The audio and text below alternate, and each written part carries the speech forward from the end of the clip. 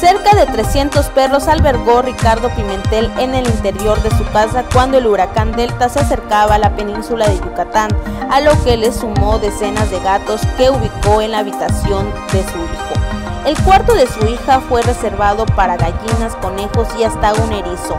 El patio cobijó a un rebaño de ovejas. La casa olía horrible, admite, pero el esfuerzo valió la pena.